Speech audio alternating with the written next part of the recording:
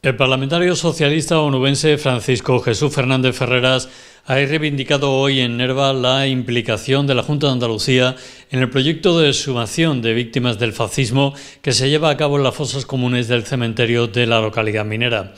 La Administración regional se mantiene al margen de este proyecto pese al compromiso adquirido en agosto de 2018 por el anterior gobierno andaluz. Acompañado por el alcalde de Nerva, José Antonio Ayala, y el segundo teniente alcalde, José Antonio Santos, el parlamentario andaluz se ha comprometido a elevar al Parlamento de Andalucía diferentes iniciativas para instar al Gobierno de la Junta a colaborar con el resto de administraciones en los trabajos emprendidos en las fosas nervenses, la más grande de las existentes en territorio rural andaluz. Bueno, pues hoy estoy aquí visitando esta fosa común interesándome e informándome de los trabajos que se están desarrollando y llevando a cabo,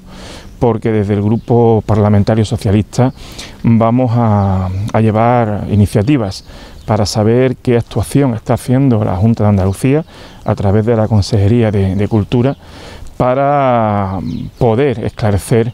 todo lo que conlleva la exhumación que se están realizando en esta, en esta fosa común he venido a tomar nota acompañado del alcalde para poder trasladar a la consejera eh, en el, Parlamento de Andalucía la inquietud, la preocupación y sobre todo eh, el trabajo que se está desarrollando, que significa ni, ni nada más ni nada menos que darle dignidad, reparación y justicia a las personas fallecidas, pero a sus familiares, principalmente a sus familiares. Y en este sentido, hoy me voy lleno de, sentimientos, me voy lleno de, situación que es difícil asimilar, porque uno se puede poner a pensar mucho en esto, pero eh, no llega nunca a imaginar qué es lo que qué es lo que, pudo cometer toda aquella barbarie y sobre todo por el respeto a las familias que, que están deseando encontrar a sus familiares, que están deseando darle eh,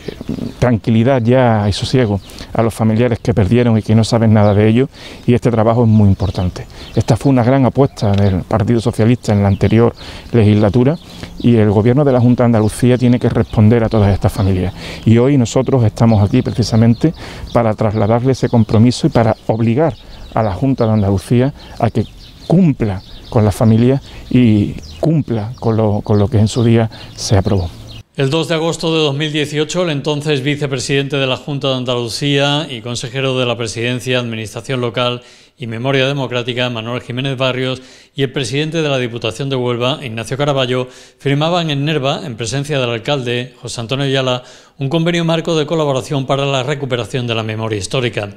Sin embargo, la Junta de Andalucía se ha mantenido al margen de estos trabajos desde la toma en posesión del actual gobierno autónomo presidido por Juan Manuel Moreno Bonilla.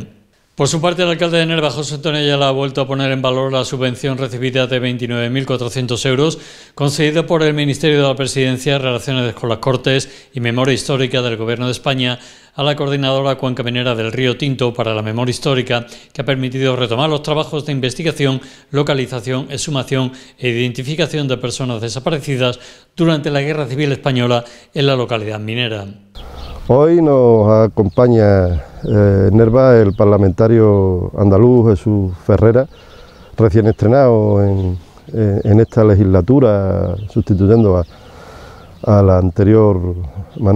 parlamentaria Manuela Serrano, también por, por Huelva, a la cual le quiero desde aquí mandar un afectuoso saludo. Nos une una amistad hace muchísimos años y sé además que va en su nuevo cometido, va a hacer exactamente el mismo buen trabajo que ha hecho como parlamentaria andaluza. Jesús viene a interesarse por cómo van los trabajos en la fosa de Nerva, que como todo el mundo sabe es una apuesta decidida de este equipo de, gobierno que yo presido, de intentar en esta legislatura por todos los medios que esto sea una página pasada, de que se le dé dignidad a todas estas personas que fueron asesinadas en lo que se llamó la guerra civil. Aquí no fue así, porque aquí solo hubo represión y estos son los resultados. Y lo que vengo a, hoy a hablar con, él y que ha tomado conciencia de esto es que esto es una situación en la que la Junta Andalucía no puede estar al margen. Nosotros hemos tenido ayuda desde la Diputación Provincial, hemos tenido ayuda desde el Estado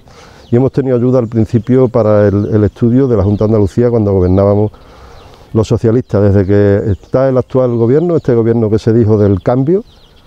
pero que aquí el cambio ha sido a peor porque desde entonces no ha puesto absolutamente nada. Y desde aquí quiero reivindicar que el papel de la Junta de Andalucía tiene que ser el mismo de todas las administraciones. Apostar porque esto sea una página del pasado y no sea la anomalía en derechos humanos más grave que tiene todavía la Unión Europea pasar página de lo que fue el franquismo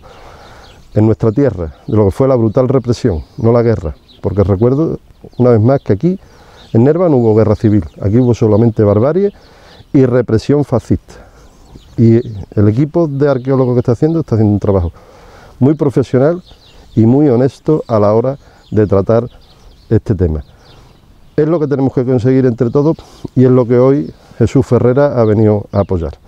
y desde luego ya le he trasladado que tiene toda mi colaboración para que salga